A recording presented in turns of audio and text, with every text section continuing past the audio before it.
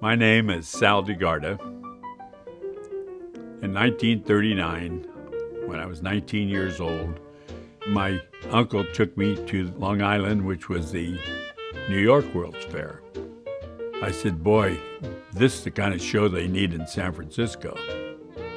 So then I headed back to the coast, inquired about the show being at San Francisco, and then I went for the interview with about 2,500 people.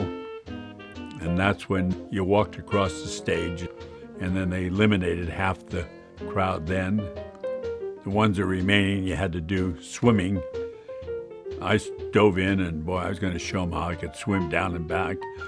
But I heard out, and I cussed to myself, and I swam to the side. But I relaxed, and I just took about three strokes, and he said, in.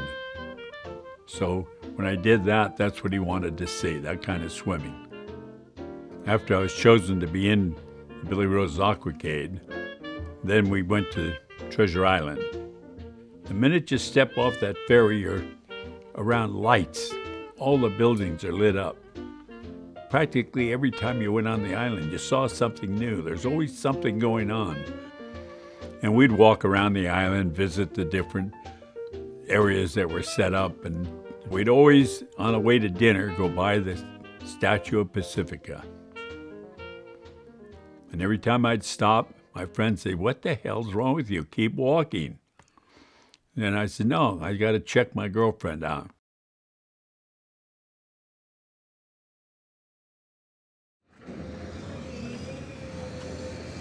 I saw the statue being torn down by the Navy.